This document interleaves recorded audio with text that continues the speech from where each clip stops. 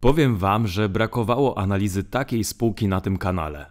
Chodzi mi o to, że gdy analizowaliśmy jakąkolwiek spółkę, to w dwie sekundy byliśmy w stanie wymienić jej 30 konkurentów, którzy robią dokładnie to samo i są w stanie ją zastąpić bez mrugnięcia okiem. W tym przypadku będzie zupełnie inaczej. Żadna inna firma nawet nie podskoczy do tego, co robi Lockheed Martin. Jeśli sama nazwa firmy wam nic nie mówi, to po dwóch latach wojny na Ukrainie prawdopodobnie niejednokrotnie słyszeliście takie sformułowania i nazwy jak pociski Javelin, wyrzutnie HIMARS, myśliwce F-16 i F-35, systemy i baterie Patriot. Tak, to właśnie Lockheed Martin odpowiada za produkcję lub współprodukcję tych systemów obronnych i lotniczych.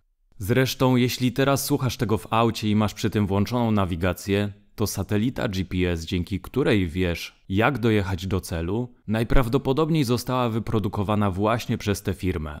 Obecnie Lockheed Martin jest głównym producentem satelitów GPS nowej generacji na zlecenie Departamentu Obrony USA, czyli modelu Block 3A.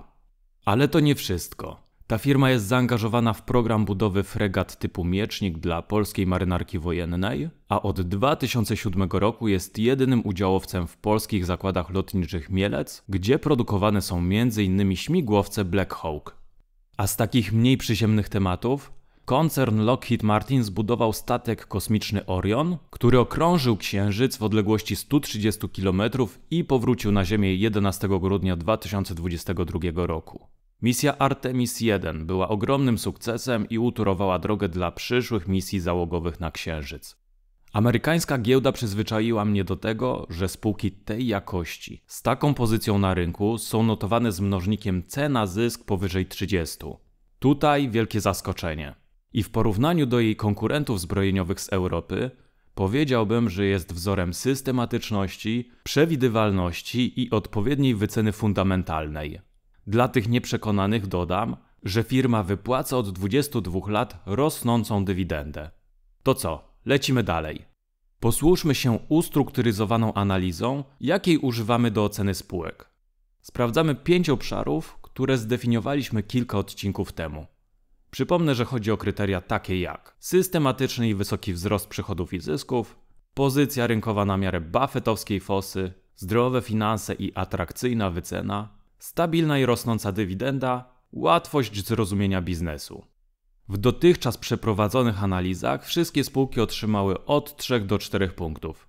Zobaczymy, czy Lockheed Martin je przebije, uzyskując maksymalną ilość 5 punktów. Lockheed Martin obecny jest na giełdzie amerykańskiej od 1995 roku. Powstał w wyniku połączenia dwóch spółek Lockheed Corporation i Martin Marietta. Obie notowane są na amerykańskiej giełdzie od lat 50. i 60. Daje nam to obraz tego, że mamy do czynienia z rozsądnie zarządzanym biznesem projektowanym na lata. Widać to też w pewnym stopniu po przychodach i zyskach. Jak widzimy na wykresie, spółka miewa okresowe zastoje, jak na przykład w 2014 i 2015 roku, jeśli chodzi o wzrost tych dwóch czynników. Natomiast długookresowo spółka podnosi wyniki o te niewielkie kilka procent średnio rocznie. Nie nazwałbym tego biznesu cyklicznym. Wzrost przychodów i zysków jest, ale jego wartość przedstawia się dużo poniżej średniej dla spółek z SP 500. Będąc wymagającym inwestorem, nie przyznałbym punktu za ten obszar. Mimo wszystko informacja, że spółka jest w stanie poprawiać swoje wyniki w jakiejś niewielkiej skali, niemal rok do roku, będzie dla niektórych z Was na pewno przydatna. Przychodzi pora na mój ulubiony obszar, czyli weryfikację, czy spółka posiada ekonomiczną fosę, o której mówi nam Warren Buffett. W takim razie kilka faktów na początek. Lockheed jest największym na świecie producentem broni i lotnictwa wojskowego z udziałami w rynku sięgającymi 11%. Możemy stwierdzić w ciemno, że posiadanie takiej pozycji daje firmie przewagę nad konkurencją w zakresie skali, kosztów i dostępu do technologii. Firma wchodzi w skład tzw. Tak Wielkiej Piątki amerykańskiego przemysłu obronnego, który zgarnia największą ilość kontraktów z Departamentu Obrony USA. Rząd Stanów Zjednoczonych współpracuje wyłącznie z zaufanymi dostawcami, co tworzy kolejną barierę wejścia na rynek. Ciekawa też jest forma współpracy firm z Wielkiej Piątki, ponieważ one nie tyle ze sobą konkurują, co raczej się wzajemnie uzupełniają. Wiele systemów obronnych jest projektowanych i produkowanych wspólnie.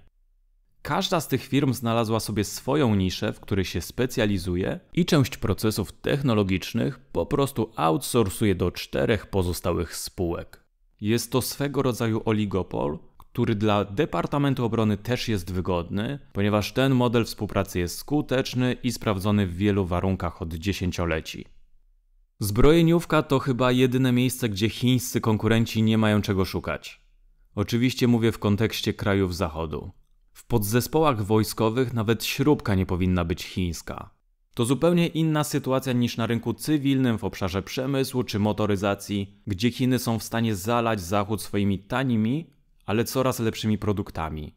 Dla mnie to ograniczenie i pewna fragmentaryzacja rynku zbrojeniowego jest ogromnym plusem. Każdy ma swoje podwórko, Amerykanie nie wchodzą na teren Chin, a Chiny nie pchają się do Stanów. Każdy jest zadowolony. To, na co jeszcze zwracam uwagę, to parasol ochronny ze strony najsilniejszego państwa Zachodu. Stany mają dar do przekonywania swoich sojuszników.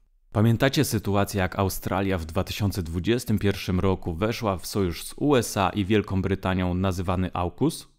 Na bazie tego porozumienia Australia zerwała współpracę z Francją na budowę 12 okrętów podwodnych o napędzie jądrowym, a kontrakt został przejęty przez jedną z amerykańskich firm stoczniowych.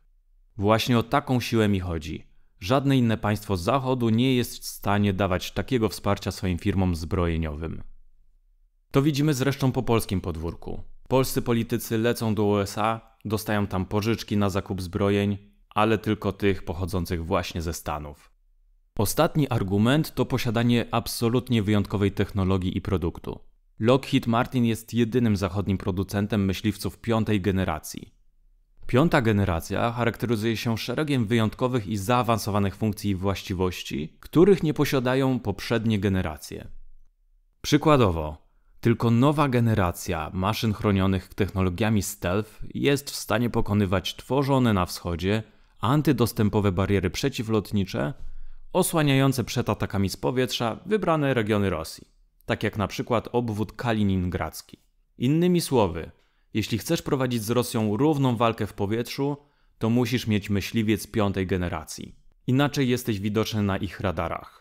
Tej kategorii samoloty bojowe produkują jeszcze jedynie Chiny i Rosja, ale co jest oczywiste, ich produktów nie będą kupowały kraje zachodnie stojące w opozycji do wschodnich mocarstw wojskowych.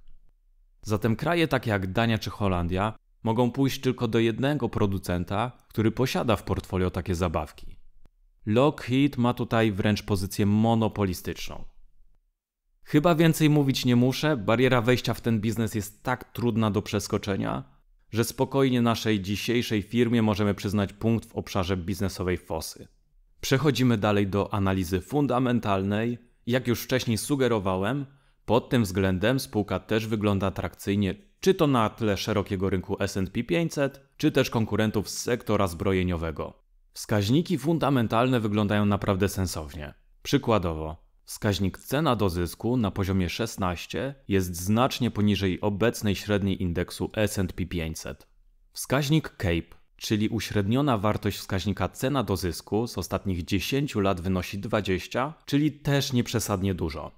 Wskaźnik Enterprise Value to EBITDA wynoszący niecałe 12 to też bardzo atrakcyjna wartość, jak na dużą amerykańską spółkę i lidera swojego rynku. Jeśli chodzi o wskaźnik związany z wartością księgową, to jest on tragiczny i wynosi 15. Ale tak jak wspominałem, w większości przypadków trzeba przymknąć na niego oko. Ja się nim w ogóle nie sugeruję, chyba że mówimy o spółkach ciężkiego przemysłu pokroju Orlen czy KGHM. Przechodząc do wskaźników rentowności, wszystko jest w jak najlepszym porządku. Wskaźnik ROE, wynoszący 78%, to jeden z najwyższych odczytów w sektorze zbrojeniowym. Podobnie jest ze wskaźnikiem ROIC, który obecnie jest na poziomie 16%.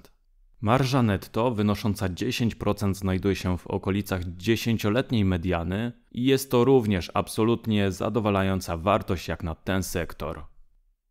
Co również istotne, patrząc na ostatnie 10 lat działalności firmy, w każdym roku przynosiła ona zysk, ani roku nie uzyskała straty.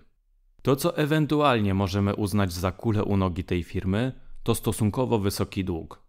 Po odjęciu pozycji gotówkowej dług Lockheed Martin wynosi netto 16 miliardów dolarów. Wskaźnik cash to debt wynoszący 8% sugeruje, że spółka ma niewiele gotówki w stosunku do swojego zadłużenia. Wskaźnik equity to asset na poziomie 13% pokazuje, że 13% aktywów spółki jest sfinansowane z kapitału własnego, a pozostałe 87% z długu. Wskaźnik ten jest niski, co oznacza, że spółka jest w dużym stopniu zadłużona. Debt to equity na poziomie 255% oznacza, że spółka ma duże zadłużenie w stosunku do kapitału własnego. Z kolei wskaźnik debt to EBITDA wynosi 167%. Wskaźnik ten pokazuje, ile razy dług netto firmy przewyższa jej zyski przed odsetkami, podatkami, amortyzacją i deprecjacją. Wskaźnik ten jest wysoki, co oznacza, że spółka ma duże zadłużenie w stosunku do swoich zysków. Z drugiej jednak strony interest coverage, który wynosi 9,3 pokazuje, ile razy zysk operacyjny firmy przewyższa jej odsetki. Uznaje się, że jeśli wskaźnik wynosi powyżej 4, oznacza to, że firma ma wystarczające zyski, aby pokryć swoje odsetki. Ponadto, według trzech największych agencji ratingowych, dług nie powinien stanowić problemu dla Lockheed Martin. Stabilna sytuacja spółki jest argumentowana dużym portfelem zamówień, który na obecną chwilę wynosi około 150 miliardów dolarów potwierdzonego backlogu. Co więcej, szybki rzut oka na wskaźnik Altmana, który wynosi ponad 3, mówi nam, że prawdopodobieństwo bankructwa w tej chwili jest dość niskie. W skrócie, spółka istotnie zalewarowana, ale prowadząca stosunkowo przewidywalny biznes potwierdzony wartością zamówień. Na pewno stanowi to czerwoną flagę, a ponieważ dług korporacyjny w Stanach Zjednoczonych nie jest zazwyczaj indeksowany do obecnych wartości stóp procentowych, tylko spółki zaciągają nowy dług po wyższym oprocentowaniu w momencie rolowania swoich zobowiązań, to ewentualne wyższe koszty finansowe będą widoczne dopiero w przyszłych okresach.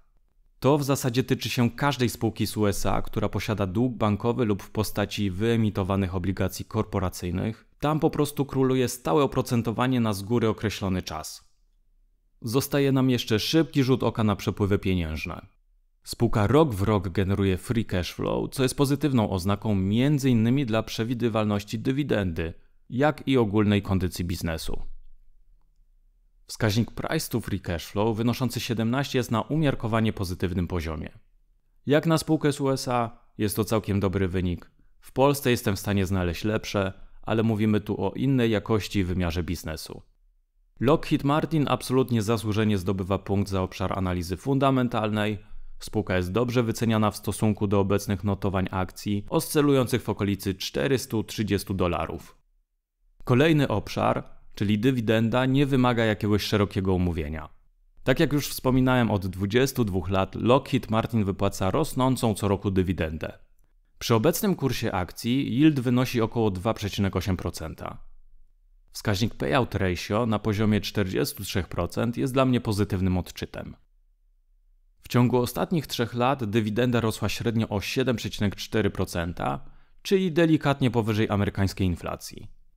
Co więcej, Spółka co roku przeznacza niewielką kwotę na skup akcji własnych, co wzmacnia jej wzrost notowań. Są to stosunkowo niewielkie wartości, wynoszące około 10% kwot, jakie firma wydaje na dywidendę. Jeszcze 3 lata i firma będzie uznawana za prawdziwego dywidendowego arystokratę. Patrząc po analizie fundamentalnej i biznesowej, można z pewnym prawdopodobieństwem zakładać, że do tego czasu nie powinno się stać nic negatywnego, co by miało zaszkodzić wypłatom dywidendy. Zatem przyznajemy trzeci punkt i przechodzimy do ostatniego kryterium. Benjamin Graham mawiał, że inwestowanie to nie spekulacja, to kupowanie części biznesu. I dlatego tak ważne dla mnie jest, by rozumieć, co dana firma robi, w jaki sposób zarabia i czy ma szansę, by nadal utrzymać się na rynku. Może i Lockheed Martin nie prowadzi najbardziej transparentnego biznesu na świecie, nie jestem w stanie pójść do sklepu i zobaczyć, czy ich produkty sprzedają się jak świeże bułeczki, ale z obecnej sytuacji geopolitycznej na świecie jestem w stanie wyciągnąć pewne wnioski, które podpowiadają mi, że ten biznes w dalszym ciągu będzie miał się dobrze. Minęły już lata, w których istniało powszechne przeświadczenie, że wojny nie dotkną już nigdy żadnego rozwiniętego państwa. że to zabawa dla dzikich i nierozwiniętych państw z południa czy zachodu. Państwa Europy czy Pacyfiku zrozumiały na bazie ostatnich wydarzeń, że oni mogą nie chcieć wojny, ale to wojna będzie chciała ich.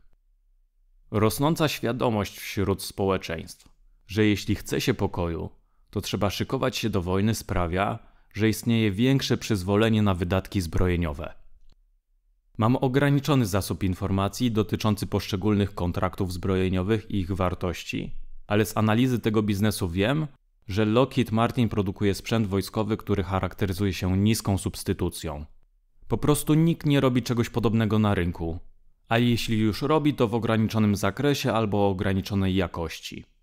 Tak naprawdę predykcja popytu oraz wiedza na temat jakości produktów tej firmy pozwala mi wstępnie oceniać, że jest to spółka, którą potencjalnie warto jest dodać do swojego portfela. Nawet przeciętnemu inwestorowi takiemu jak ja łatwo jest zrozumieć, co napędza rozwój tego typu firm. Są to konflikty na świecie, niepewność geopolityczna, a także dążenie państw do rozwoju nowych technologii, takich jak innowacje kosmiczne czy energetyczne. We wszystkich tych obszarach Lockheed Martin jest mocno zaangażowany. W mojej opinii spółce za ten obszar należy się punkt, więc podsumowując wszystkie pięć kryteriów, Lockheed zgarnął 4 punkty na 5 możliwych, znajdując się w czołówce analizowanych na tym kanale spółek giełdowych. Ogólnie słowem komentarza. Z mocnych stron tej firmy możemy wymienić przede wszystkim jej pozycję na rynku, technologicznie zaawansowany produkt, co jest dużą barierą wejścia w obszar przemysłu zbrojeniowego. Jednocześnie spółka ode mnie dostaje żółtą kartkę za stosunkowo powolny wzrost przychodów i zysków w ostatnich latach i całkiem wysokie zadłużenie. Od firmy tej jakości i tej pozycji oczekiwałbym lepszej dynamiki rozwoju. Jednak przyszłość może wyglądać jeszcze lepiej, ponieważ asortyment wojskowy Lockheed Martin sprawdza się w trakcie wojny na Ukrainie. Nie słyszeliśmy o żadnych krytycznych błędach ich produktów czy systemów. Determinantami do dalszego wzrostu i pozyskiwania kolejnych zamówień będą trwające konflikty w Europie czy na Bliskim Wschodzie oraz dalsza obawa o eskalację na Pacyfiku. Zastanawiałem się nad tym, jakie implikacje miałby rozejm pomiędzy Rosją a Ukrainą. Niby z jednej strony sprzęt bojowy nie byłby potrzebny na tu i teraz do dalszej obrony terytorium Ukrainy. Teoretycznie więc tempo zamówień i popyt na nowe systemy obronne powinien spaść. Z drugiej strony, jeśli to będzie tak zwany krzywy rozejm, owiany dużą niepewnością ze strony Ukrainy, państw sąsiednich takich jak Polska czy Finlandia, to ten wyścig zbrojeń i tak będzie trwał w przyszłości, bo Rosja tak czy inaczej pozostanie nieprzewidywalna dla krajów NATO. Intensywnie też myślałem nad tym, czy wybór Donalda Trumpa na prezydenta coś może zmienić w biznesie Lockheed Martin. W przeszłości były utarczki między Trumpem a firmą zbrojeniową w zakresie kosztów produkcji samolotów bojowych F-35. Trump jak to Trump. Agresywnie negocjował i naciskał na obniżenie cen myśliwców. I rzeczywiście, ostatecznie działania Trumpa spowodowały zmniejszenie ceny wyjściowej z zamówienia myśliwców o 7,5%. Widać więc, że nie jest on pobłażliwy w stosunku do rodzimego sektora zbrojeniowego. Z drugiej strony badania historyczne pokazują, że wybór republikanina na prezydenta Stanów Zjednoczonych standardowo skutkował zwiększeniem budżetów na zbrojenia. Co więcej, mając na uwadze temperament Trumpa i jego gorące uczucie do Chin, z pewnością będziemy mogli się spodziewać wielu utarczek słownych, pewnie też jakichś sporów handlowych, a to wszystko będzie rodziło niepewność co do tego, czy Chinom starczy cierpliwości do znoszenia takiej formuły relacji z USA. Eskalująca nerwowość może skutkować wzrostem notowań Lockheed Martin i innych spółek zbrojeniowych, bo inwestorzy potraktują ich akcje jako polisę ubezpieczeniową na wypadek wojny z Chinami. Nie mam zamiaru w tym materiale rozstrzygać, czy taka wojna ma szansę wybuchnąć. Chodzi mi tylko o przewidzenie przyszłej percepcji rynku. I przyznam, że bardzo długo analizowałem, którą ze spółek zbrojeniowych dodać do swojego portfela. Z jednej strony myślałem nad kilkoma największymi spółkami z USA, z drugiej też strony miałem poczucie, że powinienem objąć udziały w jakiejś firmie zbrojeniowej z Europy. Miałem takie przeświadczenie dlatego, że jeśli Trump rzeczywiście zostanie prezydentem i naprawdę będzie chciał zmusić kraje Europy do większych zakupów uzbrojenia, to obrażony Macron i Scholz nie będą dokonywać zamówień w USA. Będą w większości kupować u swoich producentów. To nie do końca jest jednak do zrobienia, bo Stany mają wyjątkowy produkt w postaci myśliwców piątej generacji. Firmami, które produkują w Europie zaawansowane myśliwce są francuski Dassault Aviation, brytyjski BAE Systems oraz włoskie Leonardo. Ale produkowane przez nich Rafale i Eurofightery nie są stricte samolotami piątej generacji. Nie mają wszystkich właściwości technologicznych, które znajdziemy w F-35. Co więcej, wyceny niektórych europejskich spółek, takich jak szwedzki Saab czy niemiecki Rheinmetall, odleciały już w kosmos. Wzrost ich notowań jest uzasadniony zwiększonymi zamówieniami ze strony państw Europy, ale jednak patrząc na neutralną wycenę spółek z USA, wolałem dodać do portfela firmę, która ma niepowtarzalny produkt. Na bazie tak przeprowadzonej analizy sam zdecydowałem się kupić Lockheed Martin po kursie akcji około 426 dolary za sztukę i przy cenie dolara po około 4 zł. Co ważne, jeśli będziecie szukać akcji Lockheed Martin u swojego brokera, bardzo możliwe, że ich nie znajdziecie. Niektórzy po prostu nie oferują możliwości zakupu akcji z sektora zbrojeniowego. Tutaj na pomoc może Wam przyjść XTB, u którego akcje Lockheed Martin oraz pozostałych producentów z tej branży kupicie bez prowizji. XTB jest partnerem tego odcinka oraz kanału i zachęcam Was do skorzystania z linka polecającego, który znajdziecie w opisie filmu, w sytuacji gdybyście chcieli założyć konto u tego brokera. I jak powiedział wybitny strateg i filozof Mike Tyson, każdy ma jakiś plan, dopóki nie dostanie w mordę. Zawsze może okazać się, że świetlana przyszłość, jaką kreśliliśmy przed naszą spółką, zwyczajnie nie wypala. Jest kilka ryzyk, które możemy zaprognozować przy Lockheed Martin. Wymienię top 3, które będę mieć z tyłu głowy.